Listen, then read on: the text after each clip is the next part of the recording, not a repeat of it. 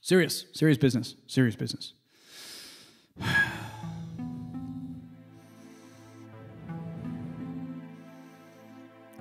She'd been drinking too much eggnog, and we begged her not to go. But she forgot her medication and staggered out into the snow. When we found her Christmas morning, at the scene of the attack.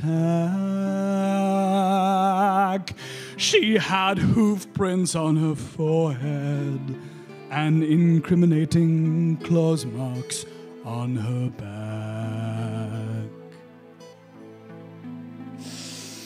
Grandma got run over by a reindeer walking home from our house.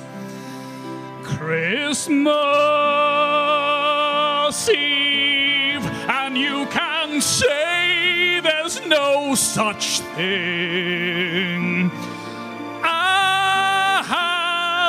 Santa.